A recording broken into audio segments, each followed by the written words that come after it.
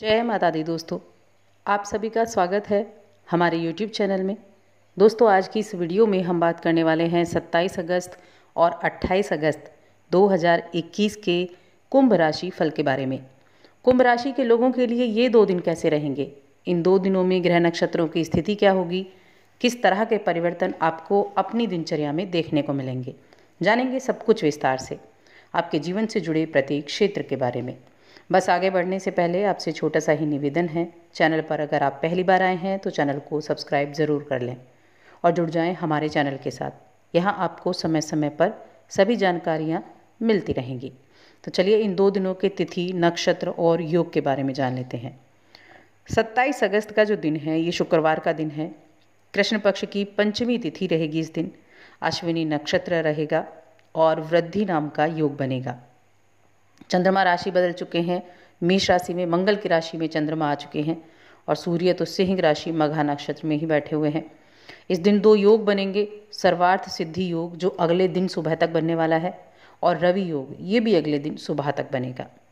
इस दिन का अभिजीत मुहूर्त है सुबह ग्यारह बजकर छप्पन मिनट से, दोपहर बारह बजकर अड़तालीस मिनट तक।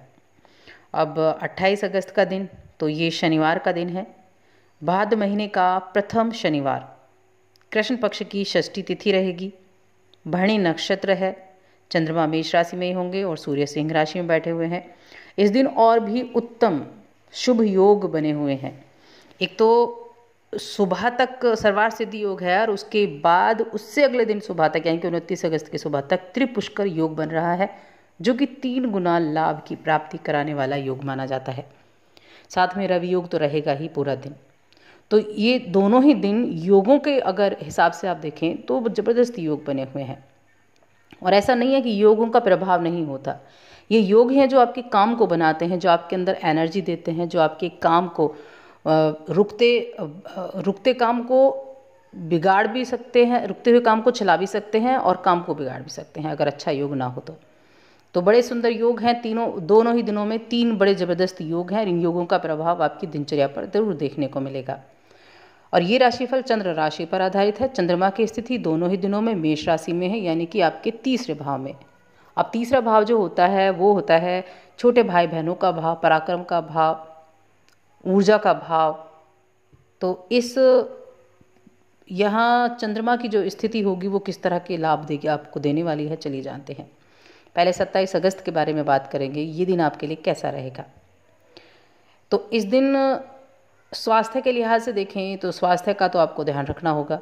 स्वास्थ्य संबंधी कुछ परेशानियाँ देखने को मिल सकती हैं, क्योंकि मंगल की राशि में चंद्रमा बैठे हुए हैं तृतीय भाव वैसे तो अच्छा भाव है, लेकिन मंग, मंगल की राशि में यहाँ चंद्रमा है तो स्वास्थ्य थोड़ा प्रभावित हो सकता है। आपके अंदर किसी बात को लेकर निराशा हो सकती है। ध्यान रखें कि जब आपका दिमाग शांत होता है, सब संपन्न होता है, तभी आप अपने कामों पर ध्यान दे पाते हैं। वरना तो ऐसा लगता है जैसे दिमाग को जंग लग गया हो, यानी कुछ सोच ही नहीं पाता है, ना कोई डिसीज़न ले पाता है, ना अपने काम में ध्यान लगा पाता है। तो ऐसी स्थितियों से निराश ना हो, ऐसी स्थितियों से बाहर निकलने की कोशिश करें, जिस भी तरह आप कर सकते हैं। आप कुछ ऐसे लोगों से मिलें जिनके संपर्क में आकर आपको एनर्जी मिलती है। और कुछ योग मेडिटेशन करें, बहुत हेल्प करते हैं आपको आगे निकलने के लिए। आज अपने घर के वरिष्ठ जनों से आप कोई सलाह ले सकते हैं और उस सलाह को ज़िंदगी में जगह भी दे सकते हैं। काम की सलाह आपको मिलने वाली है। इसके अलावा अच्छी चीज़ आज ये होने वाली है कि या तो कोई चिट्ठी, या कोई मेल, या कोई फ़ोन कॉल आपके परिवार के लिए अच्छी खबर लेकर आ सकता है। तो ये बड़ा शुभ रहेगा। इसके अलावा अगर आप साझेदारी में काम करते थे तो अपने साझेदारों से आज आपको बहुत ही सकारात्मक प्रतिक्रिया देखने को मिलेगी। और शाम का वक्त अपने किसी सहकर्मी के साथ आप बिता सकते हैं। उनके साथ समय ज़रूर बिताएँ, लेकिन कामों को कामों पर भी आपको ध्यान देना होगा।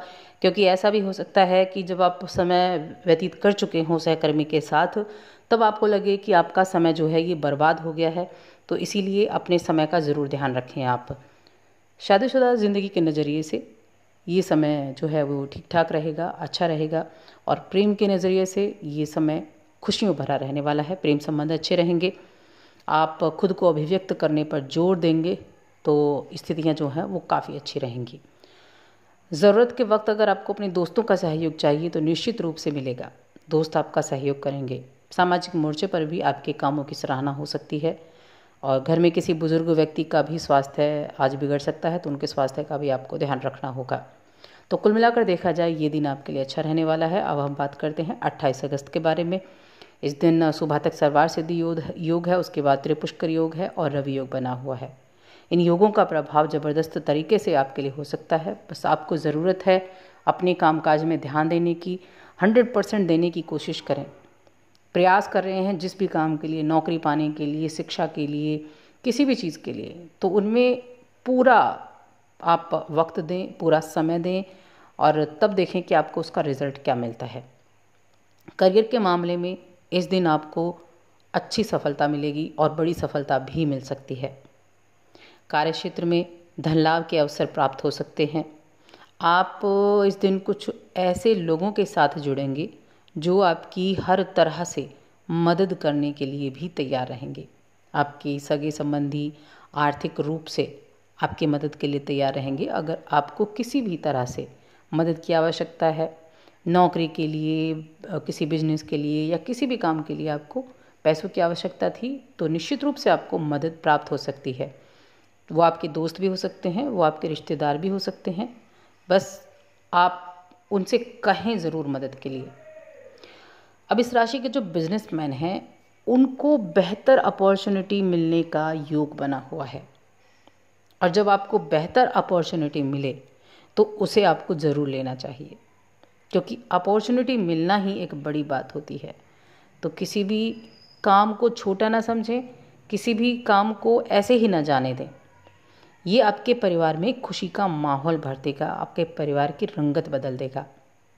घर परिवार का सहयोग भी होगा माता पिता का भाई बहनों का, सबका सहयोग आपको मिलने वाला है।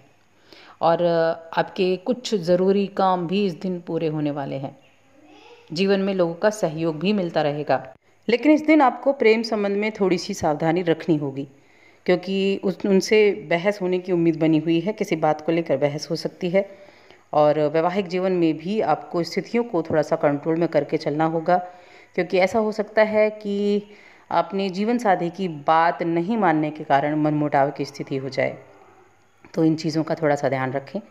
बाकी अविवाहित तो लोगों को विवाह की चिंता सता सकती है तो उनको विवाह के प्रस्ताव जल्दी ही मिलेंगे और जल्दी ही उनके लिए अच्छे योग भी बनेंगे। तो ऐसी कोई टेंशन आप बिल्कुल ना लें। उपाय के तौर पर आप गायत्री मंत्र का पाठ कर सकते हैं। गायत्री मंत्र का पाठ करना आपके लिए बेहद अच्छा रहेगा, जो आपके जीवन में सभी लोगों का साथ आपको दिलाता रहेगा।